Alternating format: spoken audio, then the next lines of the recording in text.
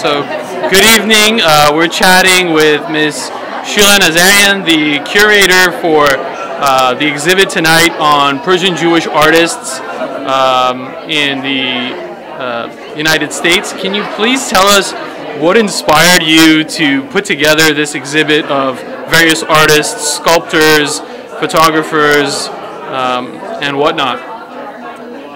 For asking me. Um, it's a pleasure to be at the position of working with artists. The reason I started to uh, search for and uh, bring together a group of amazing artists was uh, USC Hillel, which is a, has an arts uh, committee, asked me to put together a, a group of artists and um, I know that it's uh, past due for us as a community, Iranian community, and also for American community here in LA to understand the importance of the work that the Iranian artists do, Iranian Jewish artists.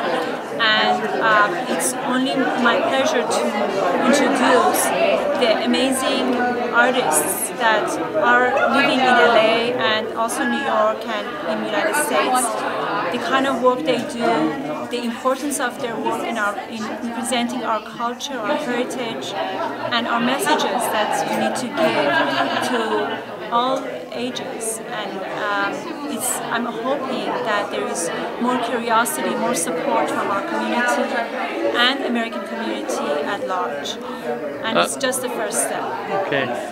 The Persian Jewish community has typically been very conservative They've encouraged their kids to get involved with some of the uh, traditional professions like being a doctor or a lawyer, an engineer. Do you see the community opening up to the arts and encouraging their kids to get into uh, artistic type work, filmmaking? I really believe so. I think so. I think our children are our next. Uh, they're showing us are the way to us. I think that it only um, is uh, it's only the place for us to understand them, to support them, to be there for them, and hope to for them to find their ways, their languages, their tools to uh, speak their messages that they have to say.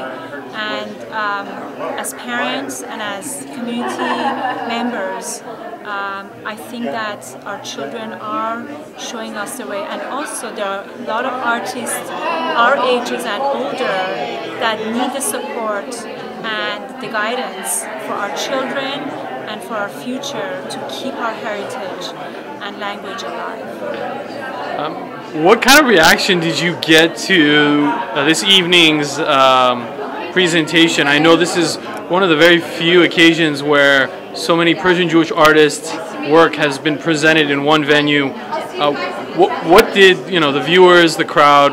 What did they say? Um, everybody's amazed. Americans, they just uh, amazed with the with the culture that we're coming from, with the knowledge of what we bring, the, the uh, intensity, the beauty, the vastness of our culture.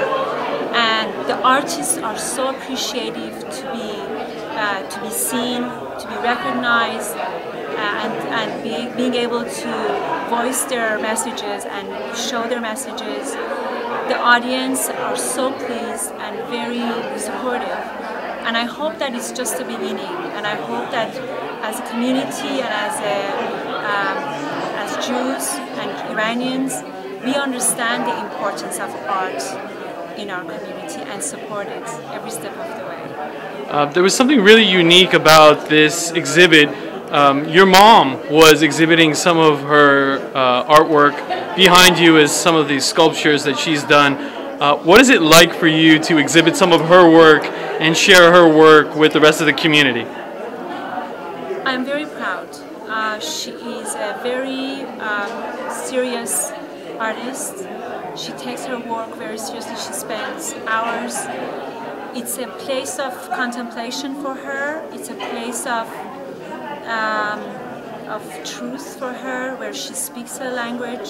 She's a very she doesn't speak much, but she does. And she shows her work, her messages in her work. and uh, I am only honored to show this. Thank you for chatting with us, and good luck with uh, what you're doing.